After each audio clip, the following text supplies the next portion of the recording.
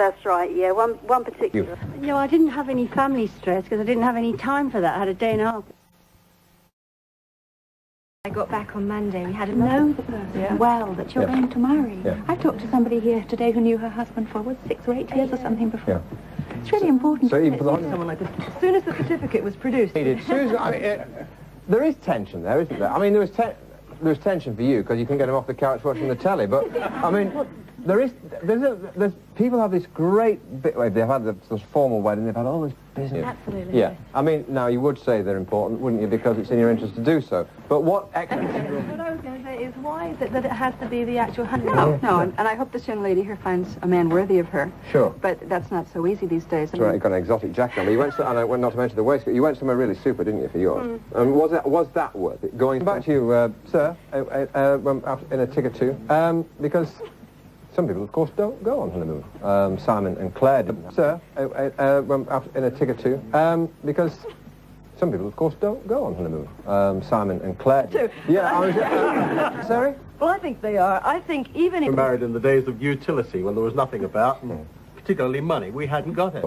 We went to Yugoslavia, and we we arrived in the weather. What was yours like, sir? Well, the night before we were... And not a good start. Well, I mean, an exciting start, but not not not, a, not one that led anywhere. Um, I've got to introduce you, Ron, because you, you're all dying to know why I was in the cupboard, uh, and so am I. Um, you've got to take us back a few years, haven't you, Ron? To Look at the flowers. Oh, sorry. don't look, don't look. so, Jane, what, what sort of future? You rub But over. it's inspired by vampires, you see. Oh.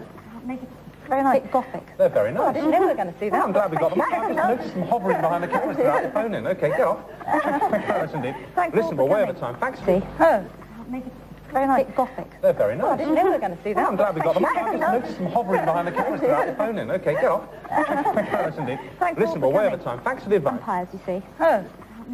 Make it very nice. bit gothic. They're very oh, nice. Oh, I didn't know we were going to see that. I'm glad we got them. I just noticed them hovering behind the cameras without the phone in. Okay, get off. Thank you very much indeed. Thanks all Listen, for we're way over time. Thanks for the advice. Very advice. nice. bit gothic. They're very nice I nice. didn't know we were going to see that. I'm glad we got them. I just noticed them hovering behind the cameras without the phone in. Okay, get off. Thank you very much indeed. Thanks all Listen, for we're way over time. Thanks for the advice. Inspired by Wow. vampires, you see. Oh. Make it very nice. bit gothic. They're very I nice. didn't know we were going to see that. I'm glad we got them. I just noticed them hovering behind the cameras without the phone in. Okay, get off. Thank you very much indeed. Thanks Listen, we're way over time. Thanks for the advice.